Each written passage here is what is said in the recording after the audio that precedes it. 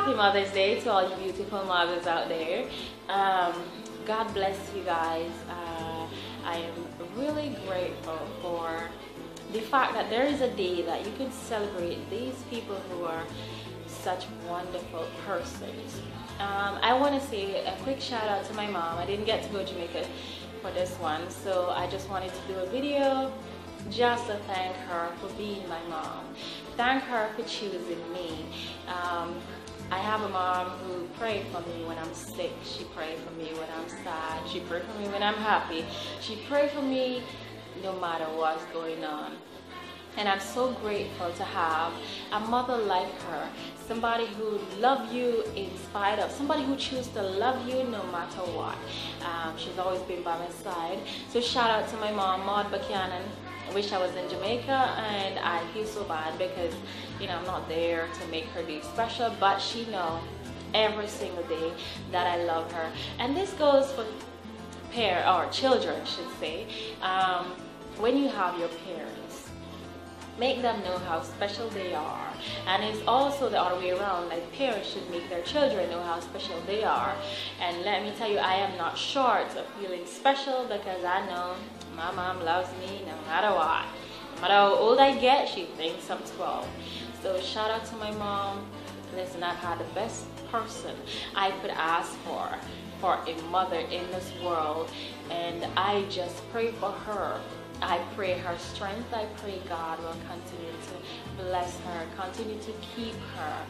And to all the other mothers out there, um, I was blessed with some other friends or people who have been there through my different stages in life, people who have stick by me.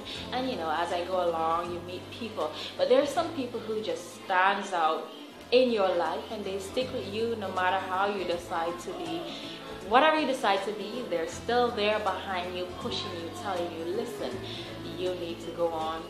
Uh, my friend Carolyn Lewis from church, um, she's been my friend because from the day I got in church, I just started church, she has been by my side. Uh, when I just started, I, I didn't know I could make it. And if everybody was like her to say, listen, the road is not easy, but you're gonna make it and you better fight. If we had more church mothers in church like that to tell young people when they come in church to stand no matter what, then we'd have a host of young people in church today. And so I am grateful for her for being my friend, for always being there, for always telling me the truth, whether I want to hear it or not. That's her. And there's also Mrs. Anne McLeod in Trelawny, Jamaica. I love you, mom. You are the best. And I know you've just been my mom, but I love you. Like, you are really nice. Um, Carisha, sorry, I stole your mom, but yeah. And then there's Diane Raymond in New York.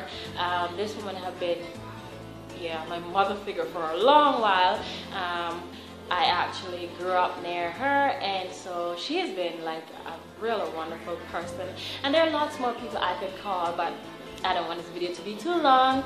So again, happy Mother's Day to all you my lovelies. God bless you. God keep you. May God make his face shine up on you. God bless.